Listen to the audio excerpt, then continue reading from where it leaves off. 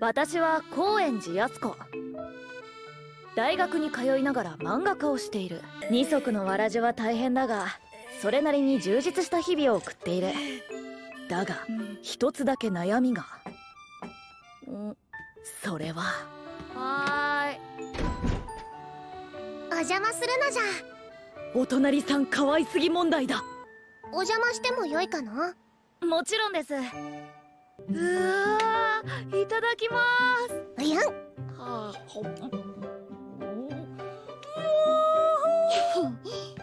うんゴミばかりじゃのう。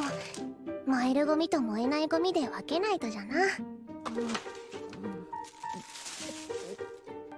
彼女の言葉を信じるならば成人済みでお隣さんは夫婦であるらしい。なんという合法ロリ。羨ましい本物かと思うほどの出来の狐耳と尻尾に。たまに本物の狐娘なのではないかと思うが。ま漫画でもあるまい。これで一段落かな。ふめっちゃ片付いてる！うやん。こんな可愛いコスプレ幼女がいるだけで幸せなのにその上こんなに世話を焼かれてしまうとは。何かお礼をコスプレ。あった聖子さん。おこれ。来ませんか。たまにコスプレの思考を変えれば旦那さんも喜びますよ。お本当かな。絶対可愛い。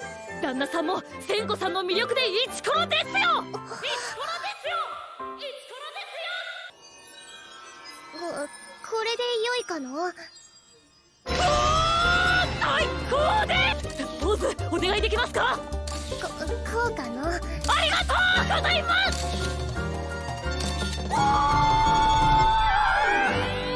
そのメイド服千子さんに差し上げます。よいのかな私にはもう不要ですしいつもお世話になってるんでそのお礼です。またなお待ちしてます。うやん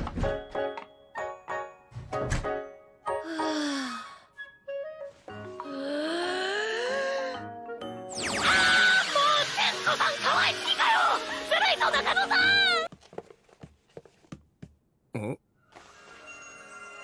えりなさいませじゃ。主様。う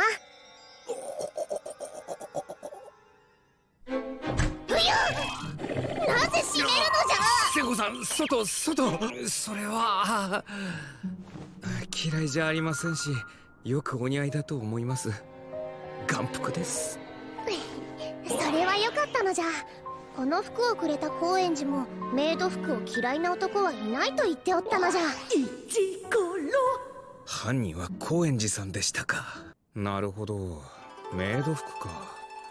俺的には少し大正ロマン的な和テイストを織り交ぜた方が好みというか。